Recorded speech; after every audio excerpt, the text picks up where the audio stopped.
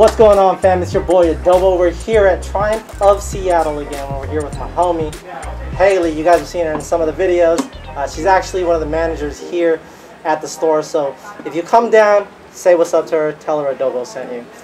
We're here today because there's a couple things that I missed in the last video, which is, you know, I think it's really important to tell you guys about the technical specs before I actually go out and test ride because there's a lot of things that I missed and there's a lot of things that I kind of didn't understand because I, you guys know I'm not a technical dude. I'm all about feel, fit, and finish.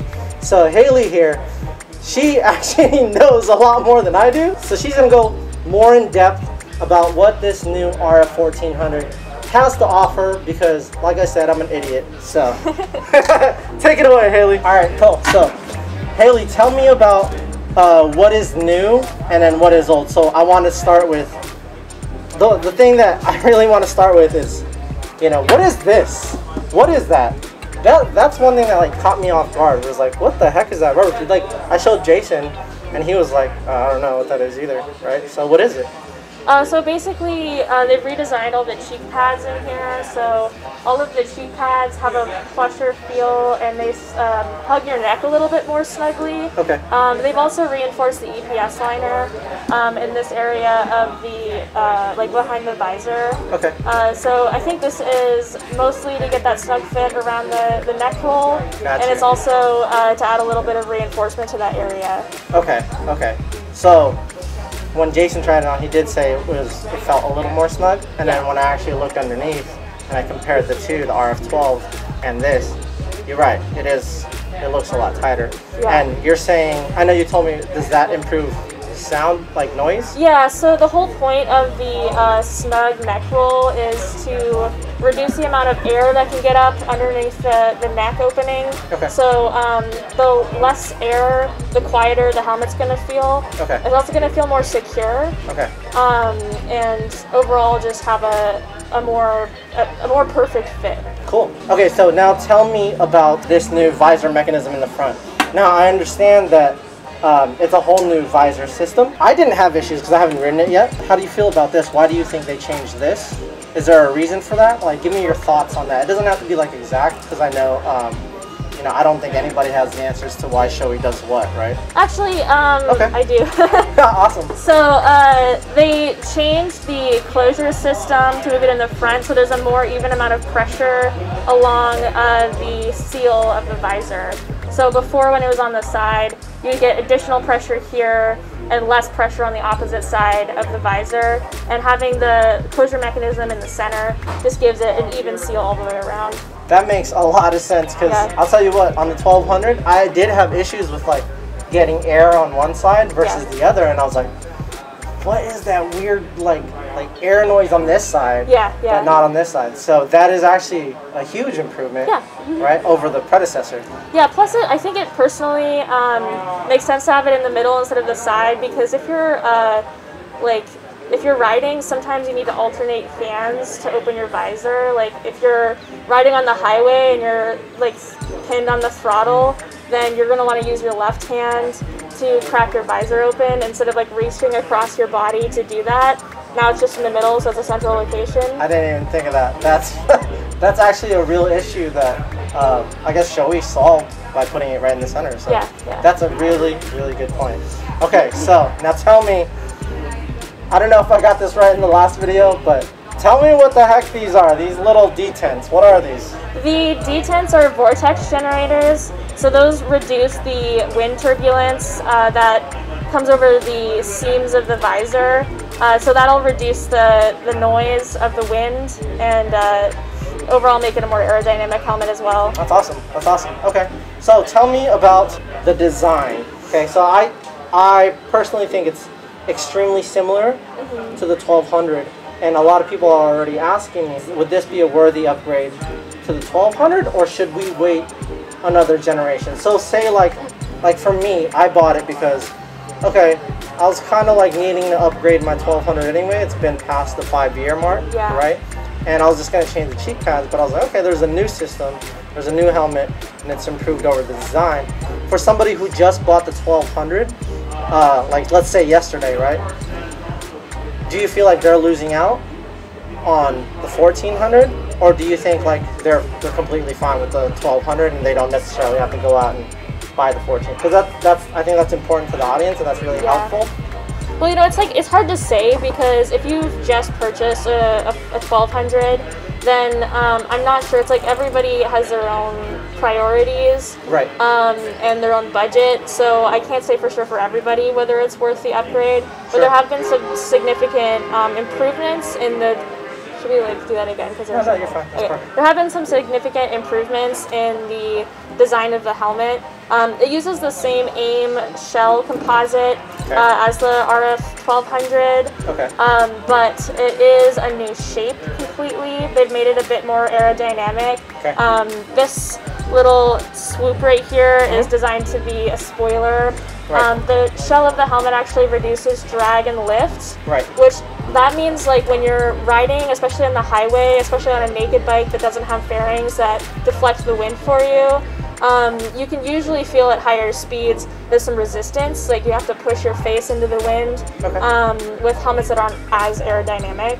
That was a problem that I had with the RF 1200 on my FZ07 when I would ride on the Mm, highway. I would get tired over a period of time because of the drag um, and the strain on my neck. Okay. So this has reduced the drag, um, which should make it cut through the air a lot more effectively and more smoothly. Um, so it should be a, a pretty big improvement um, as far as how it feels, and I'll let you decide if that's actually what when I you're actually ride it. experiencing. Yeah. So thank you for your explanation. I actually learned quite a lot, more than I thought I would. Thank you, Hailey. You're welcome. Um, I'm gonna go over the uh, actual fit, feel, and finish, like when I'm actually riding. I have, uh, you know, I got the FZ09 at home, the ZX6R, and the Panigale. I'll ride them all, man. I'll ride them all for you guys, so that way you guys can understand, like, because that's I rode the FZ09 from Vancouver, Washington to to here, and on the 1200. You're right. yeah. You're right. I could definitely feel uh, more headwind. If that is what, like what Shoei advertises, is like it's gonna cut through the wind. It's a lot more aerodynamic. For me, somebody like me, if I had just bought a 1200, like say a year ago versus five years ago, Yeah. that might be a, a make it or break it for me, right? Where it's like, oh shit, this one cuts through the wind better. Yeah, Right. and see, those are my only two qualms with the RF 1200 personally. Mhm. Is that I wish that it cut through the wind a little bit better, and I wish it was a little bit less noisy. I mean, obviously, I'm wearing earplugs most of the time, but if I forget, um, then I did notice that sort of drone after a while from the wind noise. Like, that's that's true for like almost every helmet. Um, but if I was gonna make any suggestions to Shoei on things to fix, those would have been the two things. Cool. So I'm kind of excited that that's what they focused on for the RF 1400 as far as making the necessary changes. And you know they didn't fix anything that wasn't broken, right? Right, so, right, right. Um, all of the the features that you like about the RF 1200 are still there, Cool. but they've made some changes to make it just function just a little bit better. That's awesome. Yeah, Yeah, I mean, especially for, I mean, you ride, she rides naked bikes, yeah. right? Yeah. So My bike now is a Ducati Streetfighter 848. Right. Obviously with no fairings or windscreen. I just, just, she just got it back, guys. It got stolen. yeah, yeah, Yeah, so um, I'm sure you're happy it came back. yeah. But I think for the naked guys, the naked riders, Yeah. um, definitely that. right? Sorry. I always make fun of Jason. I always make fun of Jason. Guys, turn it around. Turn the camera around, bro. Say what's up. He's my new cameraman. Say what's up. Hello guys, Mason Jagat here. Just put it back. Just put it back. But yeah, I always make fun of him for being a naked rider, and I'm like, all right, but this might be a helmet for you, man. Yeah. Who knows, right? Yeah. So I'm gonna go test ride it right now. I'll catch you guys back in a few, and I'll let you guys know what I think. Thank you, Hailey, You're for helping welcome. me. Am I on? Oh, that's why this bike feels weird. I'm on street mode, yo. Anyway, welcome to the test ride. This is actually like my first few few miles on the new RF 1400. So far, initial impressions. What do I like about it? I normally ride with the tinted shield. Right now I'm riding with the clear shield. For some reason, I think the field of view is better on the 1400. Remember what I said? Fit, feel, finish. Fit, feel, finish, and view and sound. The sound part sound part doesn't bother me, but the view, I think this is better. But don't, don't let me get a, a clear shield on the 1200 and then I'll get back to you. Sport race, boom, that's what I love. There it is. There it is. We're about to take it on the freeway. The wind noise on the freeway. I think that's where uh, that's what we'll really test it out. I'll do some like like sitting sitting up riding like I'm on a naked. That way you guys can you know get a good feel. I know one of you guys was asking like, oh, I wonder how it's gonna feel on my MT10. And I'm like, well, I have FZ09. I could try it on, but I guess it would be the same thing if I just kind of stood up. Oh, it feels way better. The face shield mechanism is it's awesome. Look. I like that. I like that a lot. Alright, we're about to test out these aerodynamics 6% drag or something like that. I don't know. We'll see. I don't even know if my tires are inflated correctly. I normally check in before I leave, but I'm kind of late. And I'm trying to get back home before heavy traffic hits. Okay, I'm sitting straight up.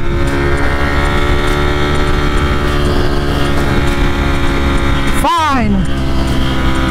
Fine, Shoei, fine.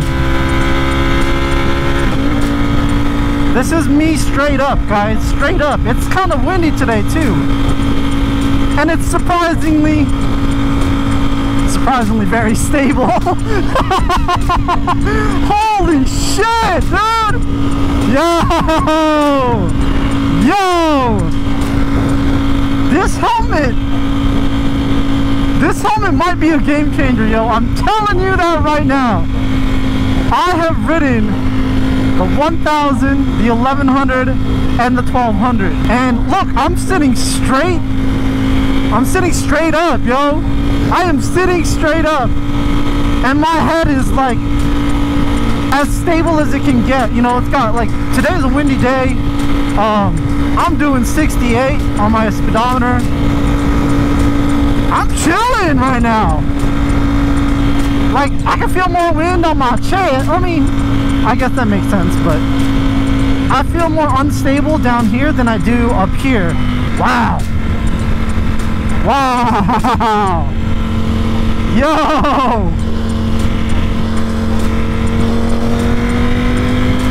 no way, dude. I've been like cruising it. I mean, I don't know, man. Ah, I don't know how much it bothered me before. I'd have to double, like, go back, ride the 1200, and then really see, right?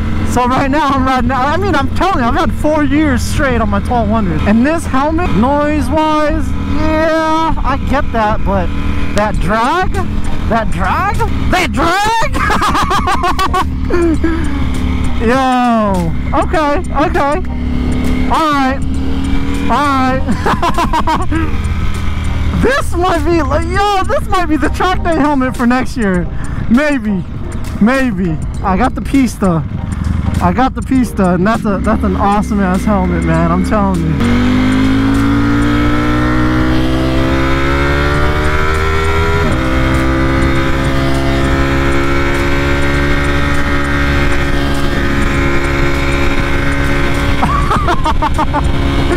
Do I feel confidence in this? Holy shit. Holy shit. Yeah, this this helmet is very confidence inspiring. Only because it, I mean, if you get the right size, I like it. I like my helmets tight, tight, and that could be another reason. That could be another reason. But right now, I'm gonna give it to the 14, man, over the 1200. I'm gonna give it to the 14 over the 1200. And I kind of knew that because, you know, mine's mine's pretty old, it's pretty worn inside, right? I took pretty good care of it, to be honest, and I actually went down on it twice. Luckily, I never, uh, I never hit the ground. Like my head never hit the ground, but, um, granted, that 12 hand, that 12 hand, that 1200 lasted a long time and I bet I could just change out the cheek pads and the center center pad. And it would be fine. It would be okay. Um, right now though kind of enjoying the 14 it is freaking windy dude. And it's not like it's not like it cuts through that kind of wind right? If I'm being honest I bet the Pista can handle this kind of wind a lot better because that's what it was made for right? This is more like an all-around street track day. Um, you know, I know a buddy, a, a few buddies that race the 1200s, and um, let me look at that, look down. I mean, it's it's doable. It's it's definitely doable at the racetrack. Uh, if I was racing, strictly racing, I'd probably go for the pista just because the field of view, um, being tucked in, you can see a lot more. But is it is it usable for the track day? Absolutely. Street riding? Hell to the fucking yeah.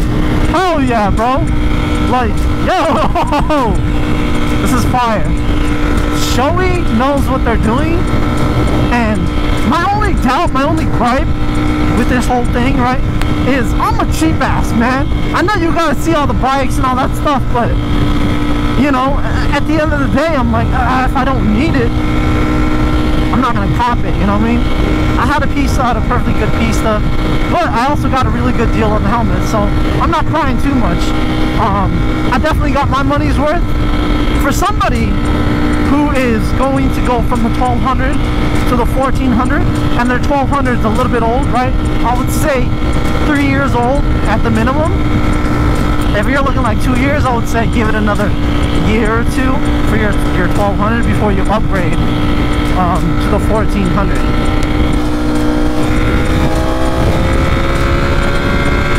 Woo! Oh yeah, this this helmet's stable. Yeah, give it a few years. Give it, give it like if, if you just got it the 1200 two years ago, give it a few years, right? Two or three, then upgrade to the 14 because you won't you won't be disappointed because it is it's everything they say it is. The sound thing, I don't I don't necessarily think it's like I don't know, like it just doesn't bother me. I don't care about the sound deal. Wind noise goes right with the sound thing for me. But know, if that if that is something that's important to you, um, then it may not be worth the upgrade, right? I know Hailey was telling me what's important to her is the uh, the headwind, the uh, the aerodynamics is really important to her because she rides naked bikes. She has, I think she has two naked bikes. She has the FZ and then she has the Duck, the Fighter. And look, I, I've been like mostly sit up this whole ride, and it's been great, dudes. It's been really good. I'm, I am like pleasantly surprised. I am pleasantly surprised because I was kind of ticked off. I was like, damn, I could have just replaced the cheek pads and whatnot. And I know you're not supposed to do that. Manufacturers tell you, you know, there's a shelf life or, or some kind of life for your helmet. But hey, man, that, that's a risk I'm willing to take because, you know, I mean, don't get me wrong. I understand those risks, but at the same time, you can go get a brand new half helmet, and my old Shoei RF 1200 would still probably be better. Not probably, it would definitely be better. So, oh man, oh man, yeah. Um, field of view, track day helmet, track day and street helmet for sure. Would I just be track only in this helmet? Definitely not. I don't like the field of view. Um, it's more street oriented, which is fine, you know. Pista is tucked in. I hate comparing the two, but you know, one's a race helmet, one's more like a all-around helmet, but that's what I compare it to. that's what I got. anyway, we're meeting Carl. Let's go get some coffee. Yeah, let's go get some coffee. Woo! Would you look at that view, guys? My goodness gracious.